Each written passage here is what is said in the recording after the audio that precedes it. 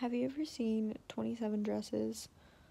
Uh, I think it's like the very beginning of the movie where she's running in between two different weddings and like she's getting in the car, she's changing, she's getting out at another wedding, like helping one bride hold her dress while she's peeing and all that stuff.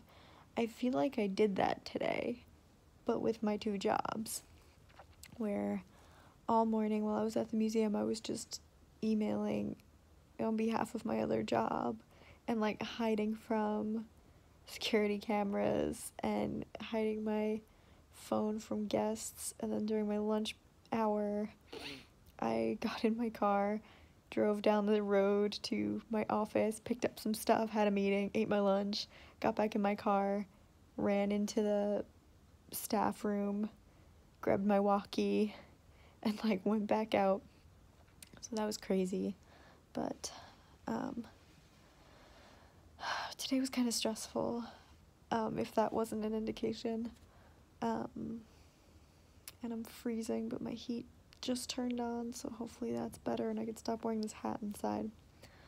Um, but I had a moment today where I was really stressed and really concerned um, that I was doing just too much, but I wasn't doing any of it well, which is scary.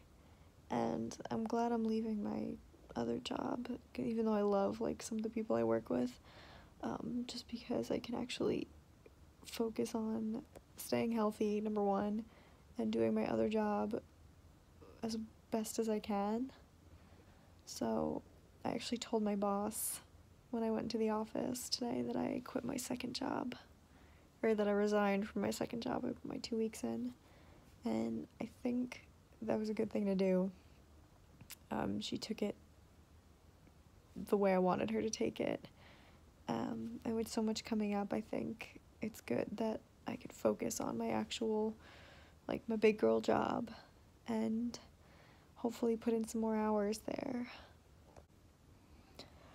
This is gonna be a very short vlog, but I saw something on Refinery 29's Instagram that I think is a good wrap up to today, and that was you don't need to be anxious or stressed to be important.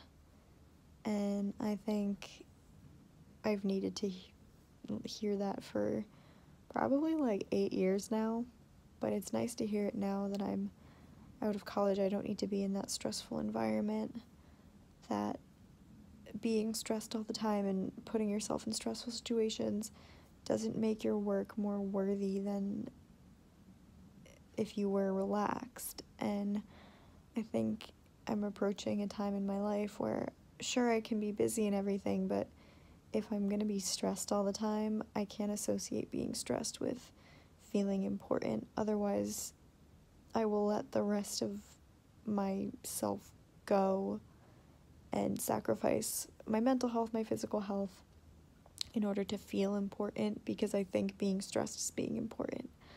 So that's something I saw today that I think a lot of people need to hear, and I needed to hear it, and I'm kind of glad that that was the end of my day because I feel like I made some good decisions with what I'm doing, and hopefully this week goes well.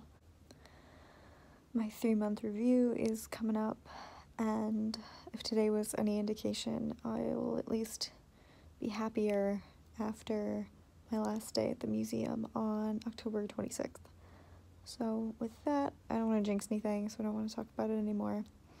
I have an interview with a chef tomorrow, um, which I'm like very excited about because I sort of love this restaurant. Um, and that'll be fun, but I do want to get some rest, make sure I am firing on all cylinders when I'm out there and having a good time. And maybe I'll take some footage of um, the area I'm in because it's really cute. And I do need to walk around a little bit, which makes me really excited. But I'll see you then. Bye.